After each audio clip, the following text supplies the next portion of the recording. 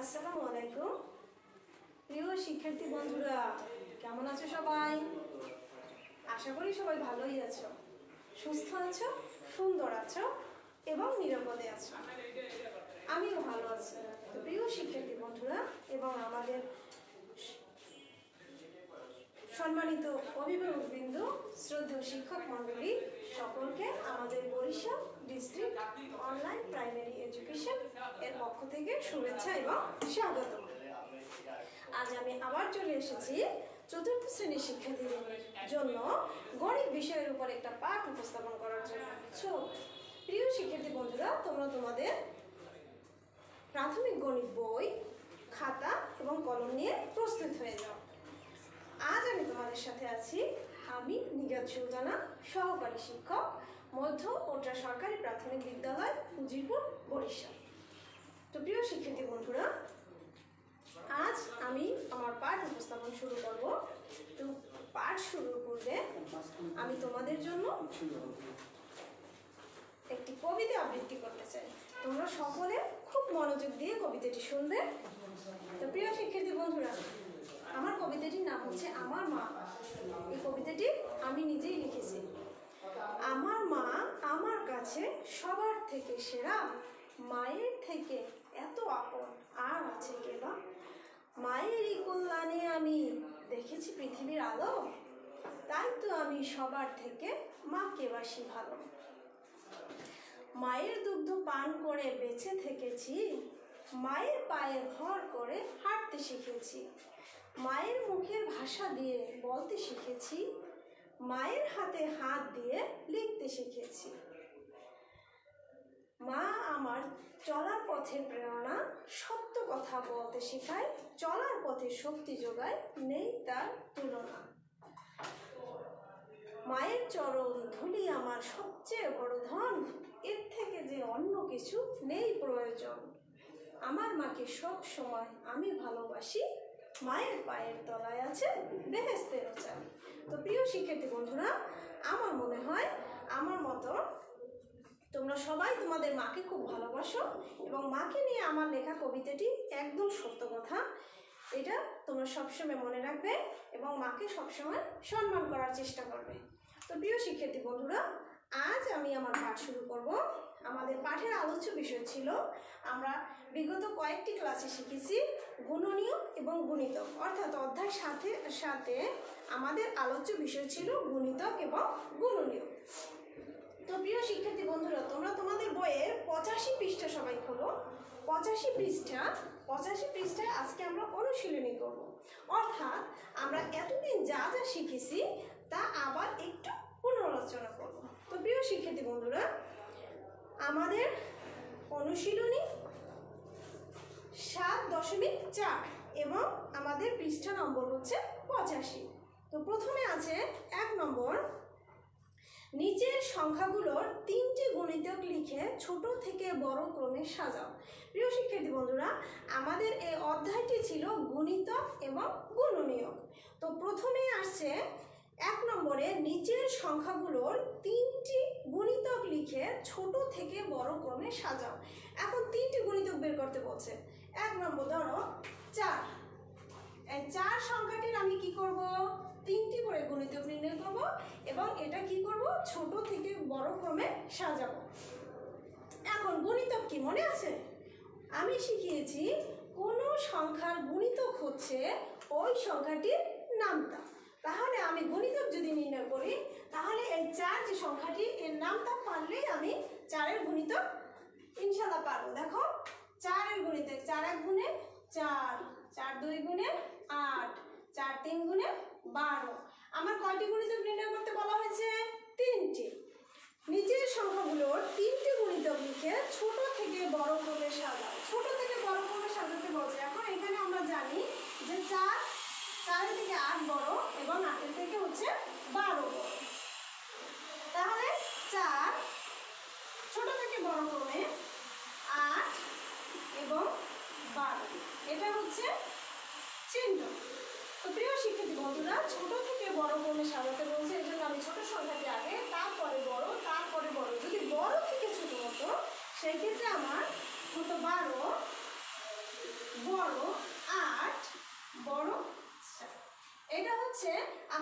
চিহ্ন এটা দিয়ে আমি বড়টা বুঝিয়েছি এবং এইটা দ্বারা আমি ছোটটি বুঝিয়েছি তোমাদের মনে রাখার জন্য একটা টিপস হলো সব সময় এই যে এই একটা চিহ্ন এই একটা চিহ্ন ইংরেজিতে আমরা একটাকে বলি গ্রেটার দ্যান একটাকে বলি লেস কি করবে যখন এর মধ্যে কোলের মধ্যে যে সংখ্যাটি দেখবে কোলের মধ্যে যে সংখ্যাটি দেখবে সবসময় মনে করবে সেই সংখ্যাটি হচ্ছে বড় এই দিকে যদি হয় তাহলে এইটা বড় এই যে বাইরে লেজের দিকে যে সংখ্যাটি থাকবে সেই সংখ্যাটি হচ্ছে সবসময় ছোট তুমি এই চিহ্নটা দ্বারা প্রকাশ করো কিংবা এই চিহ্নটা দ্বারা প্রকাশ করো।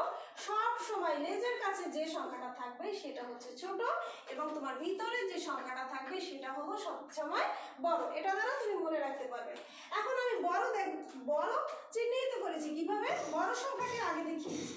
এখন এই যে আমি বলেছি যে ভিতরের দিকে যে সংখ্যাটা থাকল সেটা হলো আমার বড়। এরপর হচ্ছে আট, এরপর হচ্ছে চার। আবার ছোট কীভাবে করেছি? চার হচ্ছে ছোট লেস দেন আট বারো। এই যে, লেজের কাছে যে সংখ্যাটা, সেটা হচ্ছে ছোট। এটা হচ্ছে মনে রাখার একটা টিপস গণিতে এর কোনো ভাষা নেই। শুধু আমি তোমাদের মনে রাখার জন্য বিষয়টি বুঝিয়ে বললাম যে, ছোট কিংবা বড় যদি তোমার চিহ্ন মনে না থাকে যে, আমি এইভাবে দেবো না এইভাবে দেবো, তখন তুমি নির্ণয় করার জন্য শুধু এই জিনিসটা, বিষয়টা মনে রাখবে যে, চিহ্ন দুইটার ভিতরে যে সংখ্যাটা থাকবে, সেটাকে আমরা বড় বলব এবং বাইরের দিকে যে সংখ্যাটা থাকবে, সেটাকে আমরা ছোট বলব। বন্ধুরা গণিত শেষ। এরপরে আছে, নিচের সংখ্যার জোড়াগুলোর জন্য তিনটি সাধারণ গুণিতক জোড়াগুলো মানে দুটো করে শব্দ আছে, দুটো করে সংখ্যা দেওয়া আছে। দেখো, এক নম্বরে আছে তিন এবং চার। কি বলছে আমাকে? একটু মনোযোগ দাও। নিচের সংখ্যার জোড়াগুলোর জন্য তিনটি সাধারণ গুণিতক লিখে ছোট থেকে বড় ক্রমে সাজাও। লঘিষ্ঠ সাধারণ গুণিতকটি লেখো তিনটে বিষয় তোমাকে এখানে চাওয়া হয়েছে। প্রথম হচ্ছে নিচের সংখ্যার জোড়া জোড়াগুলোর জন্য তিনটি করে সাধারণ গুণিতক। এখন সাধারণ গুণিতক কি মনে আছে?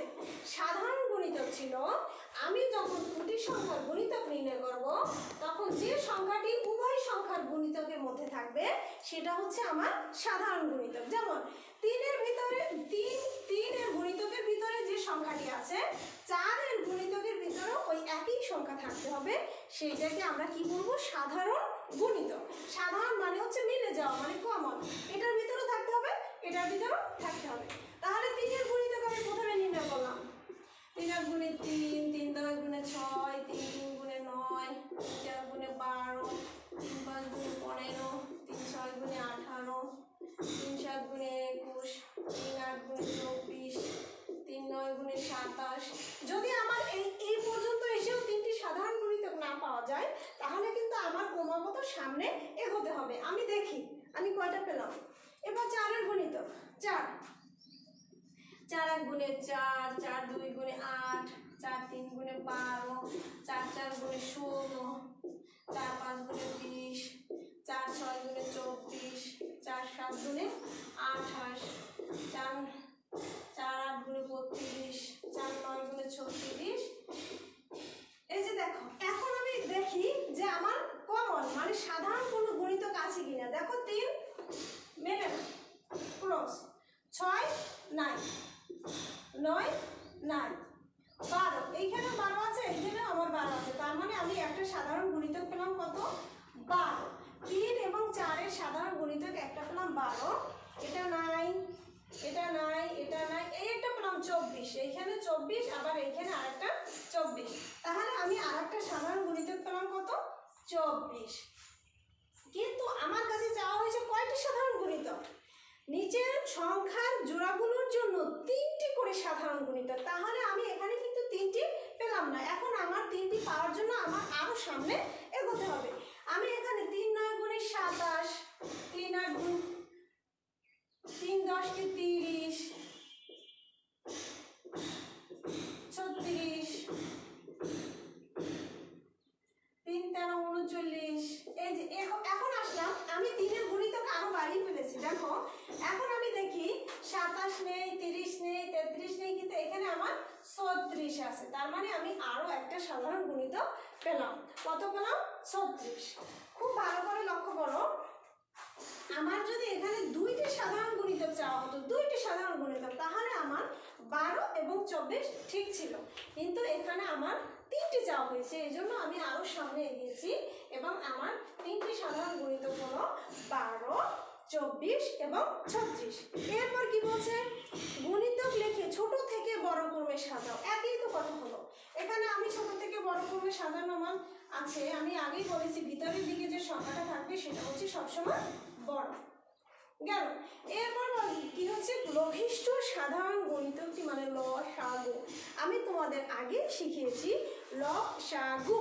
লসাগু শব্দের পূর্ণ রূপ হচ্ছে লঘিষ্ঠ সাধারণ গণিত। লঘিষ্ঠ সাধারণ গণিত।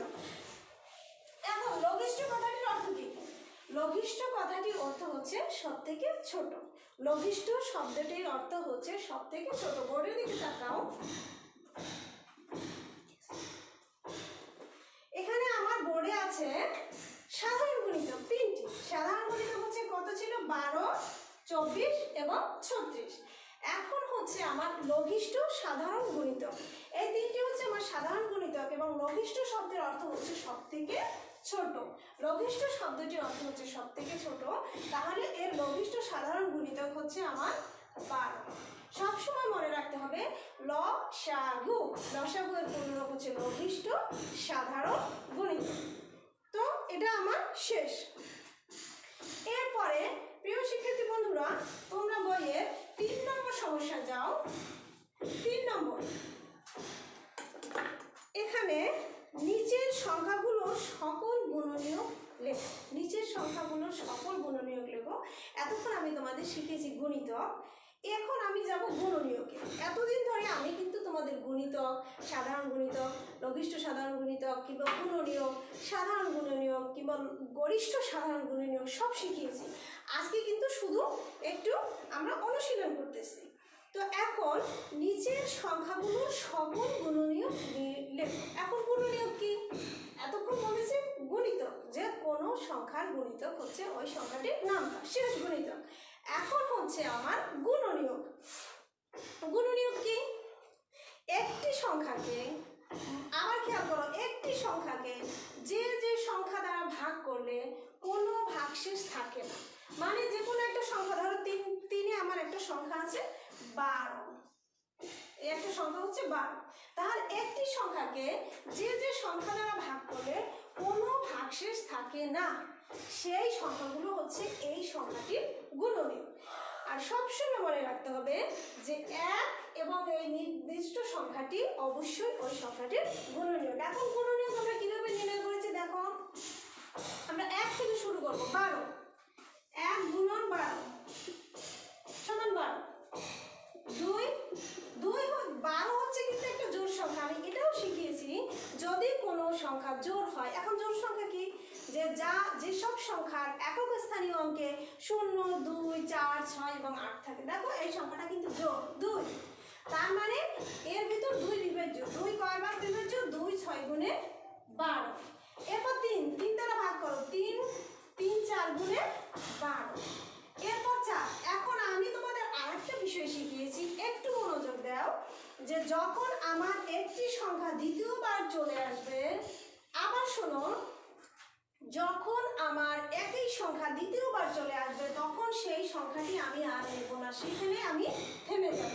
তখন আমার, কারণ এইখানে আমি চার অলরেডি একবার পেয়ে গেছি, এখানে আর আমি চার নেব না। তাহলে আমার গুণনীয়কগুলো হলো এক, দুই, তিন, চার ছয় পাঁচ। খুব সহজ যে ওই সংখ্যাটির ভিতর যে যে সংখ্যা নিঃশেষে বিভাজ্য সেটা নিলাম। আর যখন আমি বের করব, তখন কি করব? যখন একটি সংখ্যা দ্বিতীয়বার চলে আসবে, সেই সংখ্যাটি আমি আর কি করব না? নেব না। আমার গুণনীয় নির্ণয় করা খুব সহজ। এখান থেকে আমি এখানে নেমেছি। এখান থেকে আবার আমি এখানে উঠে গেছি। তো প্রিয় শিক্ষার্থী বন্ধুরা এখন তোমরা তোমাদের বইয়ের চার নম্বর সমস্যা। নিচের সংখ্যাগুলোর সকল সাধারণ গুণনীয়ক নির্ণয় করো এবং প্রতিটি সংখ্যা যুগলের গরিষ্ঠ সাধারণ মান গুণনীয়ক মানে গ, সা, গু। এখন আমরা এটা নির্ণয় করেছি গুণনীয়ক। এখন নির্ণয় করব সাধারণ গুণনীয়ক। সাধারণ গুণনীয়ক কি? যখন আমি দুটো সংখ্যার ওই গুণনীয়কের মধ্যে যে যে সংখ্যাগুলো মিলে যাবে। যখন আমি দুটো সংখ্যার গুণনীয়ক নির্ণয় করব, ওই দুটো সংখ্যার মধ্যে যে যে সংখ্যাগুলো মিলে যাবে, সেটাই হচ্ছে আমার সাধারণ গুণনীয়ক। দেখো, এখানে আমার আছে নয়, পনেরো, চোদ্দ, একুশ। চোদ্দ, একুশ, দেখো। চোদ্দ এখন আমার প্রথম কাজ হচ্ছে গুণনীয়ক নির্ণয় করা। চোদ্দ এক গুণন চোদ্দ চোদ্দ যেহেতু জোর সংখ্যা, দুই গুণন সাত, তিন যায় না চার যায় না পাঁচ যায় না ছয় যায় না আবার যায় সাত, কিন্তু সাত আমি আর নেব না, কারণ সাত আমার অলরেডি একবার এসে গেছে। তাহলে চোদ্দের গুণনীয়ক হচ্ছে এক, দুই, সাত, চোদ্দ। ঠিক আছে? এরপর আমি একুশের গুণনীয়ক। এক গুণন একুশ, এক গুণন একুশ দুই কখনোই যাবে না, কারণ এটা হচ্ছে একটা বিজোড় সংখ্যা। আমি তোমাদের শিখিয়েছি যে সব সংখ্যার একক স্থানীয় অঙ্কে এক, তিন, পাঁচ, সাত অথবা নয় থাকবে, সেই সংখ্যাগুলো হচ্ছে বিজোড় সংখ্যা। এবং একটি বিজোড় সংখ্যার ভিতর কখনোই কোনো জোর সংখ্যা যাবে না। সো এখানে হচ্ছে একুশ। একুশের ভিতরে আমার দুই যাবে না। তিন তিন গুণন সাত তিন সাথে একুশ। চার যাবে না, পাঁচ যাবে না, ছয় যাবে না, আর যায় গিয়ে আমার সাত। কিন্তু সাত আমি নেব না, কারণ সাত আমার ইতিমধ্যে একবার এসে পড়েছে। সুতরাং সাত বাদ। তাহলে আমার একুশের গুণনীয়ক এক, এরকম আইসে এরকম আইসে আমি এরকম উঠবো ঠিক আছে? এক, তিন, সাত, একুশ। এখন দেখো আমাকে কি বলছে? নিচের সংখ্যাগুলোর সকল সাধারণ গুণনীয়ক নির্ণয় করা। এখন সাধারণ গুণনীয়ক মানে কি? কোন কোন সংখ্যাটি আমার মিলে গেছে? এক তো এক আছে। দেখো, সাধারণ গুণনীয়ক এখানে আমার আছে সাত। দুই মিলে নেই? তাহলে এখানে আমার সাধারণ গুণনীয়ক হচ্ছে এক এবং সাধারণ গুণনীয়ক হলো এক এবং সাত এখন তোমাকে বলছে যে প্রতিটি সংখ্যা যুগলের গরিষ্ঠ সাধারণ গুণনীয়ক। গরিষ্ঠ সাধারণ গুণনীয়ক মিনস হচ্ছে গ, সা, গু। গ মিনস গরিষ্ঠ, সা মানে সাধারণ, গু মানে গুণনীয়ক। এখন গরিষ্ঠ শব্দের অর্থ কি? সব থেকে বড়, আমি আগেই শিখিয়েছি, গরিষ্ঠ শব্দটির অর্থ হচ্ছে সব থেকে বড়। তাহলে এইখানে আমার দুটো সাধারণ গুণনীয়ক পেয়েছি। এর মধ্যে সব থেকে বড় কোনটি? সাত তাহলে আমার এই সংখ্যা যুগলের গসাগু হচ্ছে সাত মানে গরিষ্ঠ সাধারণ গুণনীয়ক প্রিয় শিক্ষার্থী বন্ধুরা, আমি প্রথম থেকে একদম ভালোভাবে তোমাদের এগুলো বোঝাবার চেষ্টা করেছি। তোমরা যদি আমার আগের ক্লাসগুলো দেখে থাকো, তাহলে তোমাদের এখন কোনো সমস্যাই থাকার কথা না, আমি মনে করি। কারণ আমি যথেষ্ট সময় দিয়েছি। এরপর আছে পাঁচ নম্বর, দেখো, লঘিষ্ঠ সাধারণ গুণিতক ও গরিষ্ঠ সাধারণ গুণনীয়ক নির্ণয় করো। লঘিষ্ঠ সাধারণ গুণিতক এবং গরিষ্ঠ সাধারণ গুণনীয়ক নির্ণয় করো। এখানে একটা সংখ্যা আছে আট, বারো, চব্বিশ। এর আমার দুটো বিষয় ল নির্ণয় করতে হবে। একটা হচ্ছে ল সা, গু আর একটা হচ্ছে গ, সা, গু। আমি এতক্ষণ যে তোমাদের গণিতক নির্ণয় করা শিখিয়েছি, সাধারণ গণিতক দিয়ে, আবার লঘিষ্ঠ সাধারণ গণিতক আবার গুণনীয়ক নির্ণয় করা শিখিয়েছি, সাধারণ গুণনীয়ক থেকে গরিষ্ঠ সাধারণ গুণনীয়ক শিখিয়েছি। এছাড়াও আমি তোমাদের অন্য আরও পদ্ধতি শিখিয়েছি, লসাগু কিংবা গসাগু নির্ণয় করা যেটা খুব সহজ। দেখো, এই অঙ্কটা আমি সেই পদ্ধতিতে না তোমাদের শিখাবো। কীভাবে শিখিয়েছি? বোর্ডের দিকে তাকাও। আট, বারো, চব্বিশ। এটা দ্বারা আমরা প্রথমে নির্ণয় করব কি? লসাগু। দেখো, আমি লসাগুর ক্ষেত্রে শিখিয়েছি, যতক্ষণ পর্যন্ত কমপক্ষে, যতক্ষণ পর্যন্ত কমপক্ষে দুইটি সংখ্যা ভিতর, দুইটি সংখ্যার ভিতর যে কোনো সংখ্যা নিঃশেষে বিভাজ্য হবে, ততক্ষণ পর্যন্ত আমার এখানে সাধারণ উৎপাদক নিতে হবে। দেখো, এখানে আমার প্রত্যেকটা হচ্ছে জোর সংখ্যা। তার মানে আমার এখানে দুই যাবে দুই আটের ভিতর চার, দুই ছয়ের বারোর ভিতর ছয়, দুই চব্বিশের ভিতর বারো। আমার লক্ষ্য করো, এইখানেও দুই, ছয়, চার মানে আবারও জোর সংখ্যা। তার মানে দুই প্রত্যেকটার ভিতর নিঃশেষে বিভাজ্য। দুই চারের ভিতর দুই দুই ছয়ের ভিতর তিন এবং দুই বারোর ভিতর ছয়। একটু মনোযোগ দাও। এইখানে এসেই আমার গসাগু হলে আমার এই পর্যন্ত শেষ ছিল। কারণ এইখানে যে তিনটে সংখ্যা ছিল, গসাগুর ক্ষেত্রে মনোযোগ দাও। গসাগুর ক্ষেত্রে আমার কি করতে হবে? প্রত্যেকটা সংখ্যার ভিতর থাকতে হবে। আর লসাগুর ক্ষেত্রে আমার কি কি করতে হবে? কমপক্ষে দুটো সংখ্যা। কিন্তু এইখানে যদি আমি আবার দুই নেই, দুই দুইয়ের ভিতর এক, দুই তিনের ভিতর বিভাজ্য নয়, কিন্তু দুই তিনের ছয়ের ভিতর তিন দ্বারা বিভাজ্য।